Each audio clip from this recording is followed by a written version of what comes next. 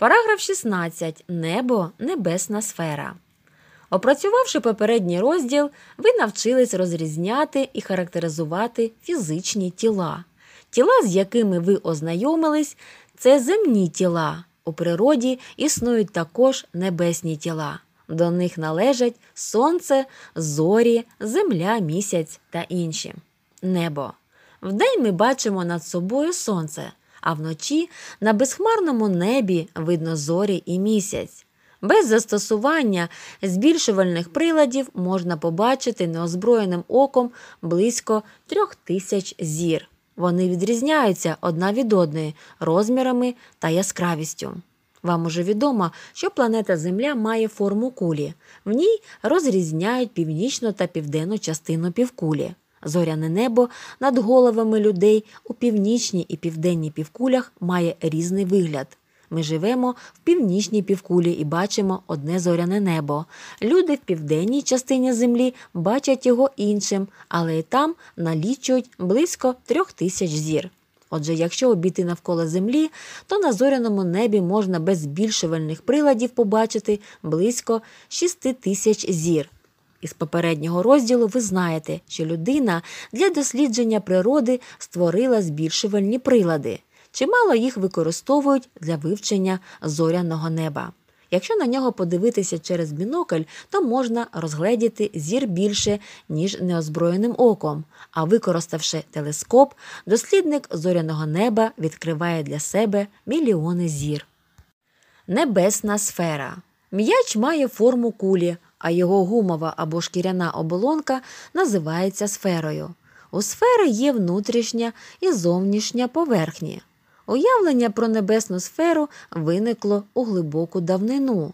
Людям видавалося, що над землею існує куполоподібний небосхил у вигляді сфери, на внутрішній поверхні якої знаходяться сонце, місяць і зорі. Це уявлення не відповідає дійсності, а склалось воно через величезну віддаленість небесних тіл від нашої планети. Вивчаючи землю, людина створила її модель глобус. Це зменшена копія у формі кулі земної поверхні з її континентами, океанами і морями, горами та рівнинами. Глобус дає можливість орієнтуватися на землі, продовжувати її вивчення. Модель, подібну до глобуса Землі, людина створила для вивчення зоряного неба і орієнтування на ньому. Її назвали небесною сферою. Вона має північну та південну півкулі. На ній також є полюси, які називають північним і південним полюсами світу. Лінію, що розділяє небесну сферу на дві півкулі, назвали небесним екватором. Небесна сфера це внутрішня поверхня уявної кулі довільного радіуса, на якій розташовані небесні тіла, так як спостерігач бачить їх на зоряному небі. Точка, що знаходиться на небесній сфері, над головою спостерігача одержала назву Зеніт. Вона є найвищою для спостерігача точкою на небесній сфері.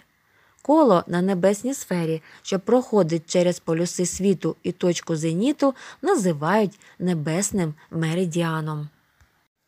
Як на глобусі можна відшукати різні об'єкти Землі та визначити відстань між ними, так за допомогою небесної сфери можна це зробити для небесних тіл. Небесна сфера допомагає розв'язанню практичних завдань, визначенню положення небесних тіл на зоряному небі, спостереженню за рухом небесних тіл та опису взаємного їх розташування. Рух тіл по небу. Неважко переконатися, що зорі та інші небесні тіла змінюють своє положення на небі. Для цього оберемо місце, з якого добре видно небо, і біля якого розташовані певні нерухомі предмети, будинок, дерево, та почнемо спостереження. Вдень ми побачимо на небі рух сонця зліва направо, увечері небо засяє зорями.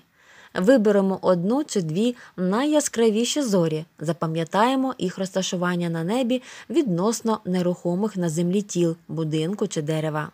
Якщо відновити спостереження за вибраними зорями через 2-3 години, то можна зробити висновок, що вони теж перемістилися на небі, як сонце вдень, зліва направо.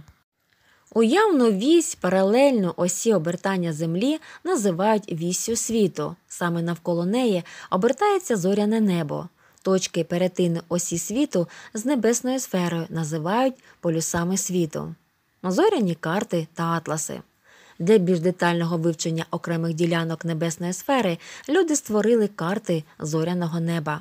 Для кожної півкулі зоряного неба складено зоряні карти, а всі карти зібрано в атлас зоряного неба. Таким чином, атлас дає можливість ознайомлюватись і вивчати різні ділянки зоряного неба з будь-якої точки на поверхні Землі. Ще в давнину спостереження за зоряним небом дало можливість ученим відкрити зв'язок між змінами півроку та такими небесними явищами, як зміна висоти сонця на небі протягом року, зміна обрисів місяця, поява на нічному небі однієї зорі в різних його точках протягом року. Також було відомо, що рік налічує близько 365 діб. Таким чином, ще здавна було закладено основи календаря, у якому Мірами для відліку часу стали доба, зміна дня і ночі, місяць, кількість діб між двома повними місяцями і рік, кількість діб одного повного оберту Землі навколо Сонця.